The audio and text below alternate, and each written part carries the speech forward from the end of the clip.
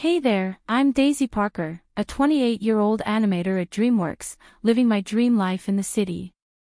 But let me tell you, getting here wasn't a stroll in the park.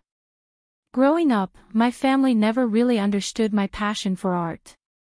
I'd spend hours sketching characters, completely lost in my own world, but my parents just saw it as a waste of time. Daisy, honey, why don't you help out at the store instead of doodling? That was my mom's go-to line. And my dad. He'd just grunt and shake his head in disapproval. But I didn't let that stop me. I worked my butt off, got into art school, and now, here I am, living in a cozy downtown apartment surrounded by friends who actually get me. Waking up every day excited to head to a job that makes me come alive is truly a dream come true. Speaking of family though, well, they're still, them. My older brother, Kevin, is the golden child, of course. My younger sister, Grace, is still figuring things out, and my parents, Peter and Nancy, are stuck in their old school ways. Just last weekend, we had a big family dinner, and Kevin drops this bombshell, I'm moving to New York. Got a big opportunity there. Everyone starts fawning over him like he's some kind of superstar. Then, with a smug grin, he turns to me and says, Hey Daisy, since I'm leaving, why don't you quit your little drawing job and take over the family store? I nearly choked on my pasta. Excuse me, I asked. Yeah, come on, sis. The store's struggling. We need someone to run it full-time, he replied. Before I could even respond, my mom jumped in, that's a wonderful idea, Kevin. She turned to me and gushed, Daisy, honey, this is your chance to do something meaningful. Asterisk meaningful asterisk. I sputtered. I'm creating art that reaches millions. My dad scoffed, art. You mean those cartoon things? This is real work, Daisy. I couldn't believe it. I'm not quitting my job to run a failing convenience store. Kevin shot me a look. Don't be selfish, Daisy. Think about the family for once. That was the breaking point. Asterisk selfish asterisk. I've worked my ass off to get where I am. None of you supported me, and now you want me to throw it all away. I snapped. My mom gasped, language, young lady. Grace just rolled her eyes and muttered, stop being so dramatic. I stood up so fast that my chair screeched against the floor. You know what? I'm done. Call me when you actually care about my life. I stormed out and slammed the door behind me, tears stinging my eyes. How could they still not see me? Still not understand me? As I drove home, a realization hit me, maybe it was time to stop seeking their approval altogether. The next day at work, I couldn't focus. My mind kept replaying last night's disaster. My best friend and desk neighbor, Zoe, noticed right away. Spill it, Daisy. What's with the zombie look, she asked. I sighed. My family's at it again. They want me to quit and run the family store. What? That's insane, Zoe said, her eyes wide. Tell me you said no. Of course, I did. But. I don't know. Maybe I should help out a little. Zoe grabbed my shoulders. Daisy, no. Stand your ground. This job is your dream. Don't let them guilt you into giving it up. But guilt, it's a powerful thing. Before I knew it, I was spending my weekends at the store. And let me tell you, it was a disaster. Mom, these numbers don't add up, I said, frowning at the ledger. She waved me off. Oh, don't worry about that. Your father handles the finances. But dad was just as clueless. It's probably just a mistake in the system, he mumbled. I dug deeper and found a stack of overdue bills. Guys, we're in serious debt here. They exchanged worried looks. We'll figure it out, Dad said under his breath. One day, while restocking shelves, I overheard Kevin on the phone. Yeah, it's all set up. Once I'm in New York, we'll make it happen. Don't worry about my family, they won't suspect a thing. What was he planning? Between the stress of the store and my demanding job, I was already burning out fast. My latest project at work was suffering, and my boss took notice. Daisy, this isn't up to your usual standard.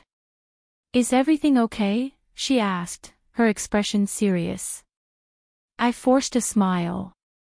Yeah, just a bit tired. I'll fix it, I promise. Even Daniel, my boyfriend, was starting to lose patience. Babe, we barely see each other anymore, he complained one night. I know, I'm sorry. It's just, family stuff, I explained. He rolled his eyes. It's always family stuff with you. I felt like I was drowning, trying to balance everything and still coming up short. But then came the night that changed everything. I'd been trying to reach Daniel all day, but he wasn't responding. Worry gnawed at me, so I decided to surprise him at his place. Using my spare key, I let myself in and called out, Daniel, you home? That's when I heard it, giggling coming from the bedroom. My heart pounded as I slowly pushed the door open, and there they were, Daniel and Grace, my sister, tangled up together. They scrambled to cover themselves, but the damage was done. Daisy, it's not what it looks like, Daniel stammered, while Grace just turned away, unable to meet my eyes. It felt like a punch to the gut. My boyfriend and my sister, the two people I thought I could trust most. How long? I managed to choke out, my voice barely a whisper. Daisy, please, Grace started, her voice trembling. How long? I screamed, my voice breaking. Daniel hung his head. A few months. I stumbled back, my world spinning. Without another word, I turned and ran, ran from the betrayal, the lies, and everything I thought I knew. Tears blurred my vision as I drove home, one thought echoing in my mind, who can I trust now? After that night, I threw myself into work at the store, thinking if I stayed busy, I wouldn't have to think about Daniel or Grace. But the more I dug into the store's finances, the more inconsistencies I found. Something was seriously wrong. Zoe, I need your help, I said one day at lunch. Something's off with my family's store, and I think it's connected to Kevin's big opportunity in New York. Bless her, Zoe didn't even hesitate. I'm in. What do you need? We spent weeks digging, using every spare moment, late nights, weekends, you name it. And what we uncovered made me sick to my stomach. Kevin's been embezzling money for years, I told Zoe, staring at the evidence on my laptop. He's been siphoning off profits, faking inventory losses. No wonder the store's been struggling. I knew I had to confront my parents, but I wasn't prepared for what came next. Mom, Dad, I need to show you something, I said, laying out the documents on the kitchen table. What's all this? Dad frowned, his eyes scanning the papers. I took a deep breath. Kevin's been stealing from the store. Look, here are the transfers, the fake inventory records. Stop it, Daisy. Mom cut me off, her voice cold. How dare you accuse your brother of something like this? I'm not accusing, I have proof. I insisted. But Dad slammed his hand on the table. Enough. You've always been jealous of Kevin's success. This is a new low, even for you. Before I could say another word, the front door opened, and in walked Kevin, looking as smug as ever. Hey, family, guess who's back? He walked in, exuding all his usual charm and arrogance. Mom rushed over to hug him tightly. Kevin. What happened to New York? she asked. He shrugged casually. Didn't work out, but no worries. I've got new plans for the store. I couldn't believe what I was hearing. New plans. You mean more ways to steal from us? Kevin's eyes narrowed as he glanced at the documents I held. What are you talking about? I know what you've been doing, embezzling, faking inventory reports, I said, my voice firm. He chuckled, but I saw a flicker of panic in his eyes. She's lost it, he laughed, turning to our parents. You don't believe this, right? To my horror, they immediately sided with him. Of course we don't, honey, Mom said, pulling him closer. Daisy's always been dramatic.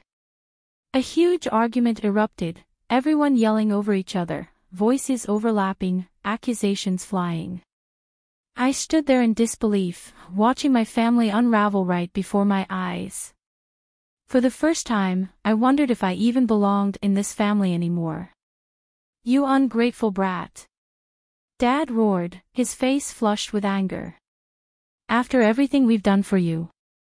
Mom was crying, and Kevin played the victim perfectly, shaking his head in disbelief. I can't believe you'd make up such lies, Daisy. You need help. I stormed out, feeling more alone than ever. The next day, my boss called me into her office.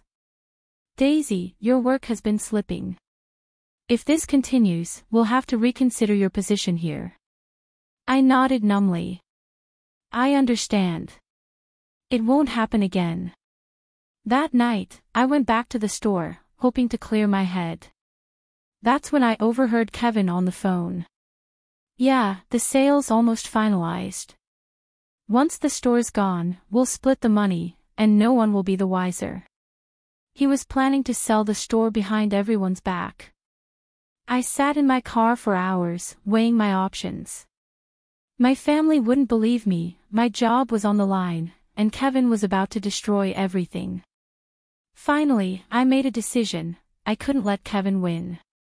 I couldn't let my parents lose everything, and I couldn't give up the career I had worked so hard for. It was time to stop playing nice. It was time to expose the truth, no matter the cost. The next morning, I called my parents. I'm done helping at the store. I need to focus on my work. Dad scoffed. Typical. Always thinking of yourself. I bit my tongue and hung up. Then I made an anonymous call to the IRS. At work, I threw myself into my animation project, long nights, endless cups of coffee. But it was worth it. When I finally presented it, the room erupted in applause. My boss pulled me aside, beaming. Daisy, this is incredible. We're promoting you to lead animator on our next big project. I was on cloud nine, until my phone buzzed with a news alert, local business owner arrested for tax evasion and fraud. My stomach dropped. It was happening. I rushed to the store, where I found my parents in shock as IRS agents combed through everything. What's going on? Mom cried. An agent approached us. Ma'am, your store is being seized due to years of financial misconduct. Dad turned to me, his face ashen. Daisy, you were right. How could we have been so blind? I felt a mix of vindication and sadness. I tried to tell you. Just then, Grace burst in, her mascara streaked with tears. I'm so sorry, Daisy. Daniel, he cheated on me too, with my best friend. I couldn't help but laugh bitterly. Karma's a bitch, isn't it? The next few weeks were chaos. Kevin was facing serious jail time, the store was gone, and my parents were drowning in debt. Daisy, honey, mom pleaded over the phone one night. We need help. Could you lend us some money? I took a deep breath. No, mom. I can't. But we're family, she said, her voice breaking. Family. I scoffed. You haven't acted like family in years. I'm done. I hung up, hands shaking but feeling lighter than I had in a long time. A month later, I got an offer from a top animation studio in New York. I didn't hesitate. As I packed up my LA apartment, Zoe helped, tears in her eyes. I'm going to miss you, girl. But I'm so proud of you, she said. I hugged her tight. I couldn't have done this without you. Six months later, I was thriving. My new project was gaining buzz, I had an amazing group of friends, and for the first time in forever, I felt truly happy. One sunny Saturday, as I sketched in Central Park, my phone rang. Mom's name flashed on the screen. I stared at it, memories flooding back, the arguments, the betrayals, the years of feeling like I was never good enough. I looked up at the bustling city around me, at the life I had built for myself. I declined the call and went back to my sketch. A sense of peace washed over me. I was finally free, free from expectations, free from toxic relationships, and free to be me. And you know what? It felt good.